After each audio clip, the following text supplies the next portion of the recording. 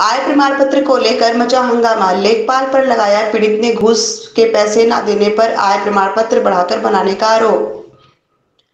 लखीमपुर खीरी की तहसील धौरहरा में एक ऐसा मामला सामने आया जो सभी लोगों को चौंका देगा। जी हाँ यह मामला एक आय प्रमाण पत्र को लेकर के है, जिसमें पीड़ित संजय शर्मा, जो एक होम गार्ड हैं, उन्होंने लेखपाल देशराज वर्मा को पैसे न दिए जाने पर दो लाख की आय प्रमाण पत्र बनाने का आरोप लगाया। इस आरोप की सत्यता को जानने के लिए इंडियन आउट ट्वेंटी फोर की टीम तहसील धौरहरा पहुँची, तथा लेखपाल देशराज वर्मा से जानकारी ली। लेखपाल के द्वारा बताया गया कि हमारे ऊपर जो आरोप लगाया जा रहा है, वह बेबुनियाद है। अगर सही है तो हमारे खिलाफ सबूत दिखाया जाए। वैसे आरोप पूर्णतया गलत तथा बेबुनियाद है। मैंने ऐसा कोई भी आय प्रमाण पत्र जारी नहीं किया। लखीमपुर खीरी से कमलाकांत पांडे व फारूक अख्तर की खास रिपोर्ट। जी, नमस्कार, मैं Kamlakant Pandey. India now twenty four से मैं इस वक्त तहसील धौरहारा में खड़ा हूँ। और आया हूँ यहाँ पर एक लेखपाल साहब के ऊपर। कुछ आरोप लगाए जा रहे हैं कि इन्होंने दो लाख रुपए की आय जारी की है।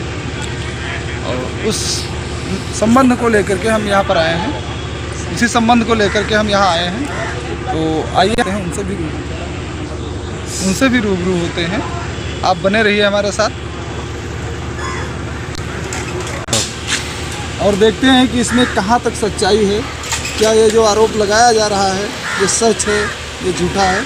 तो आप लोग बने रहिए हमारे साथ। हम आप लोगों को पल पल की खबरें देता रहूँगा। नाम बताएँ। मेरा नाम देशराज वर्मा लेखपाल सिमरी जी। तहसील धौरारा।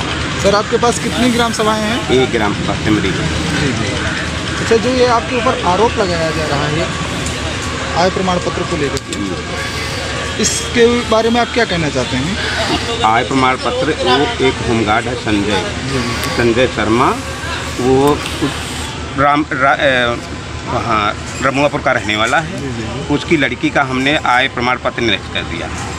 सर हम जान सकते हैं किस कारण से निरस्त क्योंकि वो होमगार्ड है सर्विस करता तो अपना वेतन शिल्प या जो मानदेय उसको मिलता उसकी शिल्प लगाता। जी जी। इसलिए निरस्त कर दिया मगर उस होमगार्ड के द्वारा आपके ऊपर आरोप लगाया जा रहा है कि आप दो लाख रुपए का उसका आय बना रहे हैं। सर आपने कोई ऐसा आय जारी किया यहाँ से? यहाँ से हमने कुछ नहीं जारी किया। दस तारीख को दस दस 2021 को हमने उसका निरस्त कर दिया था प्रीति पुत्री डॉक्टर ऑफ़ संजय कुमार के नाम से। सिर्फ़ मानदेय लिस्ट न लगने के कारण आपने हाँ निरस्त कर दिया था। जो उसको मानदेय मिलता वो लगा देता और जारी हो जाता।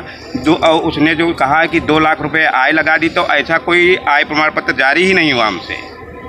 वो झूठा आरोप लगा रहा है। अच्छा अच्छा। तो अब आप इस बारे में क्या कहना चाहेंगे? किस बारे में? यही जो मैटर है इस बारे में उनका आरोप उनका आरोप पूरी तरह बेबुनियाद है उनका आरोप तो पूरी तरह बेबुनियाद है। वो आया हमसे लड़ने लगा हमको गाली देने लगा कल। कि तुमको ये कर देंगे तुमको देख लेंगे। यदि उसके पास कोई हमारे द्वारा जारी किया हुआ एविडेंस हो वो प्रमाण पत्र हो तो वो दिखाए। जी जी जी और वैसे तो आरोप बेबुनियाद। अच्छा अच्छा। हाँ, वैसा हमने कुछ नहीं किया है के खिलाफ। कि गलत हमने आय उसका जारी कर दिया वो तो झूठ बोल रहा है कि दो लाख का जारी हो गया।